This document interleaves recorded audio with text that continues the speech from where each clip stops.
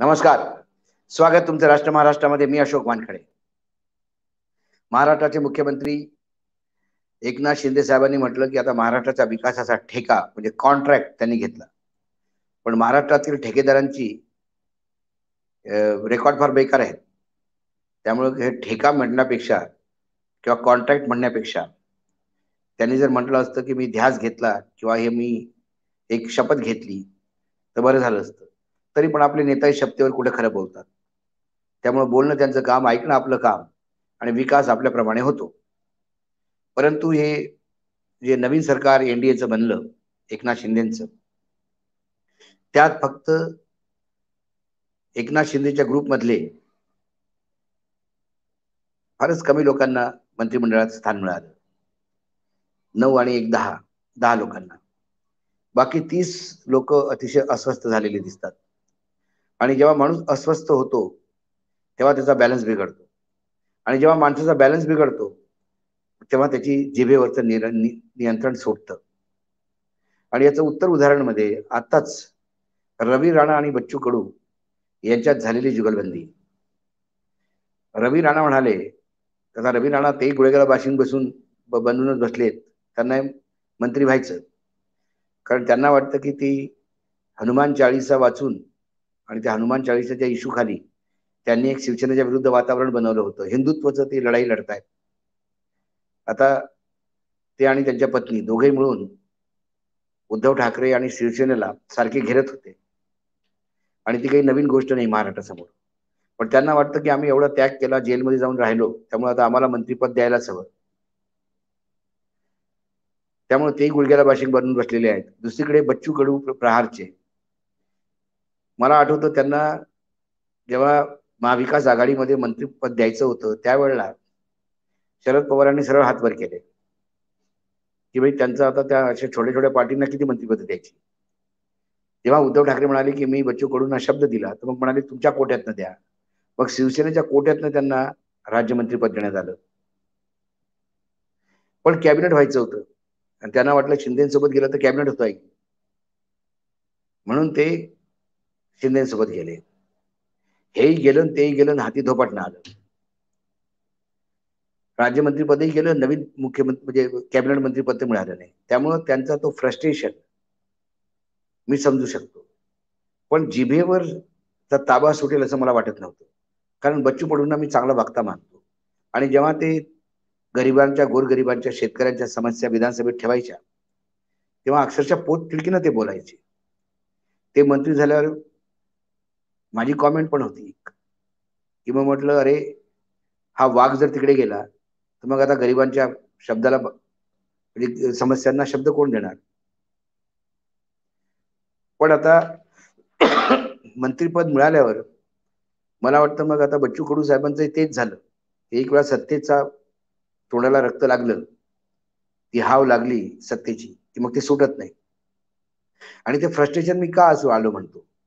कारण रवी राणा म्हणाले की मी गुवाहाटीला जाणाऱ्यांमधला आमदार नव्हे. तरी पण मी या सरकारसोबत आहे. आणि इनडायरेक्टली त्यांनी सांगितलं ना बाप बडा ना भैया सबसे बडा रुपैया. म्हणजे रवी राणाने टॉन्ट मारला की गुवाहाटीला जाणारे सगळेच पन्नास खोक्यावाले आहेत का? त्यावर बच्चू कडू ते अतिशय झोमलं. आणि मग बच्चू कडूंनी अक्षरशः पायरी सोडून बोलायला सुरू केलं. असे हरामखोराची अवलाद ते म्हणाले या हरामखोराच्या अवलादींना कळायला हवं. की आम्ही जर गुवाहाटीला गेलोच नसतो तर हे नवीन सरकार बनलंही नसतं.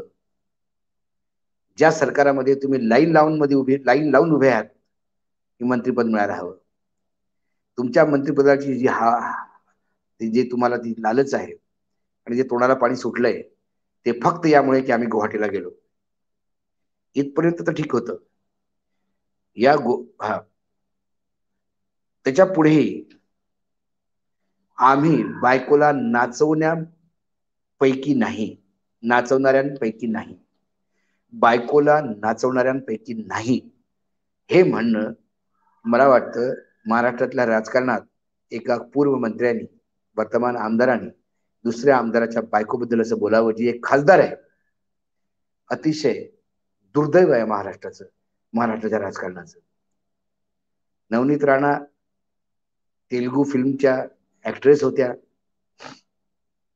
अशा जर आपण प्रत्येक ऍक्ट्रेसना नाचणाऱ्या बायाच म्हटला तर मग ज्या मंत्रिमंडळ ज्यांच्या भरोशावर आहे ज्यांच्या टेकूवर हे मंत्रिमंडळ उभं आहे भारतीय जनता पार्टीचं आणि त्या मंत्रिमंडळात जायसाठी आटापिटा करतात बच्चू बच्चू कडू त्या भाजपामध्ये कितीतरी ऍक्ट्रेस आमदार खासदार आहेत. पूर्ण देशात. तो एक पेशा आहे. ऍक्टिंग करणं एक पेशा आहे. प्रत्येकच हिरोईन ही नाचणे लोकांच्या समोर नाचवतो. म्हणजे काय रवी राणांनी बाय बायकोला घेऊन तिथे रस्त्या रस्त्यात डान्सचे प्रोग्राम करून मत नाही मिळवले. कित्येक वेळा मला त्या नवनीत राणाचं कौतुक वाटतं. की एक स्टार्डम आणि सेलिब्रिटी असलेली ऍक्ट्रेस त्यांचं आयुष्य त्यांचं जग फार वेगळं आहे.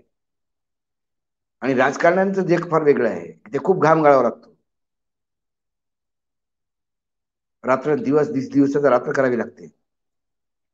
त्या करून ज्या हिशोबाने त्या पार्लमेंटमध्ये किंवा सगळीकडे बोलतात अभ्यास करतात.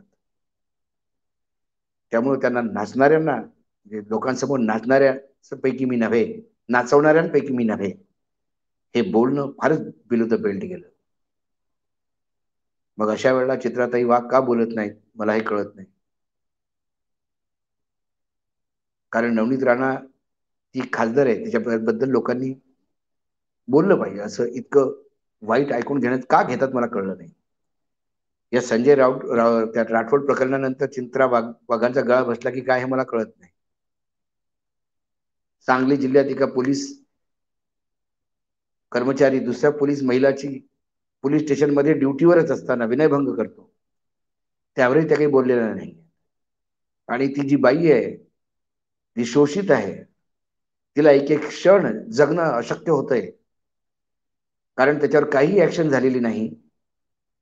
त्या पोलीस कर्मचाऱ्याला सक्तीच्या सुट्टीवर पाठवला. म्हणजे तू आता जरा घरी जाऊन इथले खूप बायांना छेडलेस तर तू जरा गावी जाऊन बायांना छेड. त्यामुळे महाराष्ट्र राजकारण कुठे चाललं? कमीत कमी कोण काय बोलतं कसं बोलावं याच्याकडे आपण शब्दाचा उपयोग कधी करायचा? कसा करायचा? हेच महाराष्ट्राचं दुर्भाग्य आहे. आणि या सत्ता नेत्यां पासून आता याच्यापेक्षा जास्त काही अपेक्षाही नाही. कारण आता एकामेकांच्या बायकांवर जेव्हा हे कमरेखाली घाव घालायला लागलेत